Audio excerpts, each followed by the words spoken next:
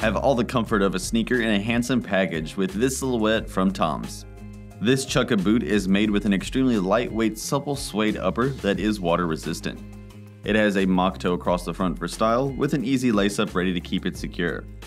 The inner lining is some lightweight padded mesh, ensuring that it's breathable and comfortable throughout.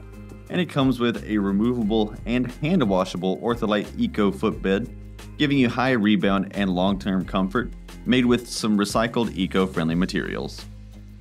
Underneath, it has a welt stitched midsole, adding durability, and it sits on top of a synthetic outsole that's made with enhanced traction for flexibility and grip, along with lots of flex.